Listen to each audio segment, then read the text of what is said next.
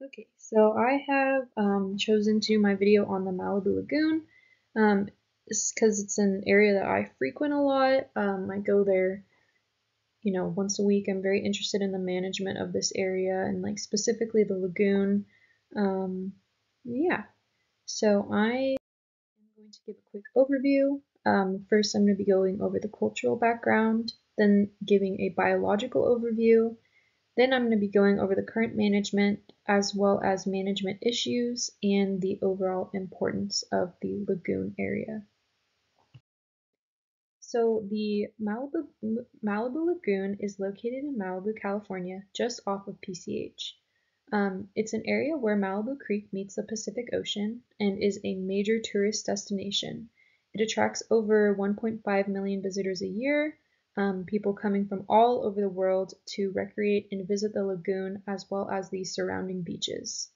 Um, it is also located next to the famous Surfrider Beach in Malibu Pier. Um, Surfrider Beach is a globally is globally known as a surf hotspot for its pristine longboarding waves and was designated as a World Surfing Reserve, which made it even more acclaimed, I believe, back in 2009 or 2010. Um, it's also located next to the Adamson House. Um, this is a place for tourists to come and visit the museum to learn more about the cultural history behind Malibu Lagoon, and it is also a venue for weddings and parties. And then you can see here on this slide, I've included a map of uh, where the lagoon is um, in orientation to all of uh, the city of Malibu. And I've also included an image of the famous Malibu Wall, which is um, just like you know a, a, little bit south of the lagoon um, still really close by. Um, it's an area that's like super famous and uh, lots of people come to take pictures here and you'll often see you know like 20 30 boards lined up against this wall especially when the waves are really good. Um, and then over here on the left I've included a picture of um, the uh, restored lagoon, which I'll talk a little bit more about restoration efforts uh, a little bit later. Um, but as you can see, it's, it's, very beautiful, lots of native plants, super lush.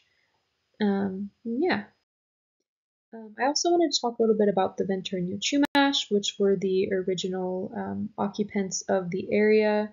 Um, the Chumash people occupied the area from San Luis Obispo to Malibu inland to the San Joaquin Valley, as well as four of the Channel Islands, Anacapa, Santa Cruz, San Miguel, and Santa Rosa. Um, the town of Humaliwo specifically was found on a high point near Malibu Lagoon. Um, Humaliwo translates to where the surf sounds loudly, which is very representative of the area given its modern day surfing significance. Um, it is uh, now a part of the state park and is managed by the California State um, Department of Parks and Recreation.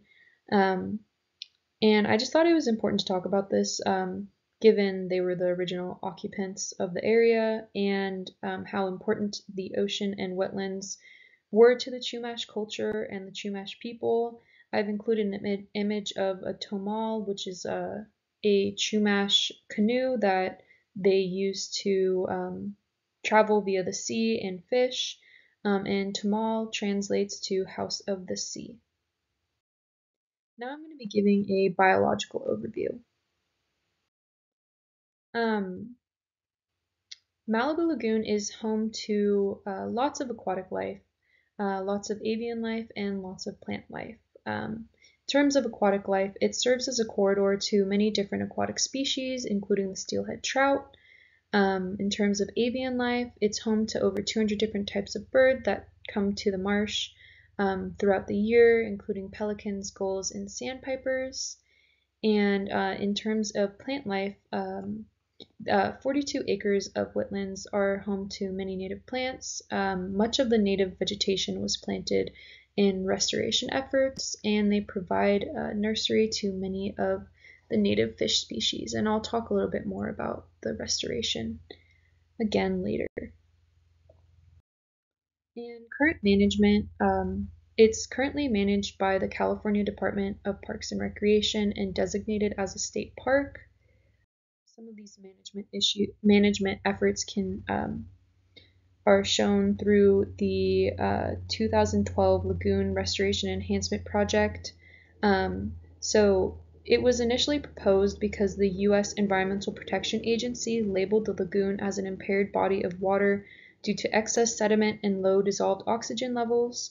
This obviously posed a threat to its biodiversity, so in 2012, the California State Department of Parks and Recreation, California State Coastal Conservancy, Resource Conservation District of the Santa Monica Mountains, the Bay Foundation, and Heal the Bay all um, worked together on the Lagoon Restoration Enhancement Project um, in order to improve the lagoon.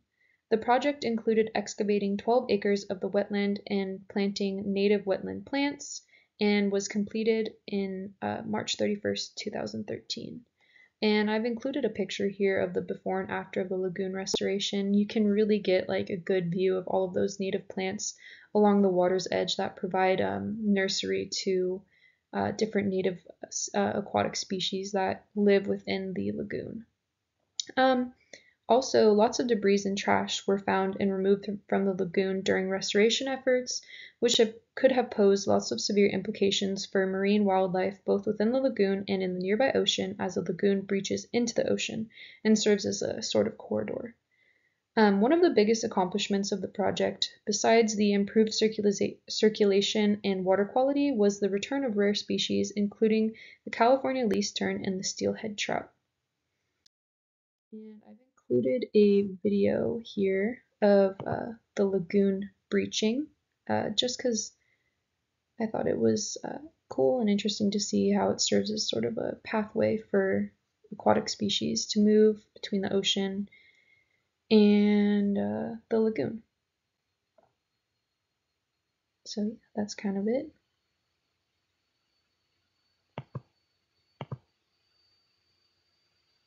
Oh, how do I go back?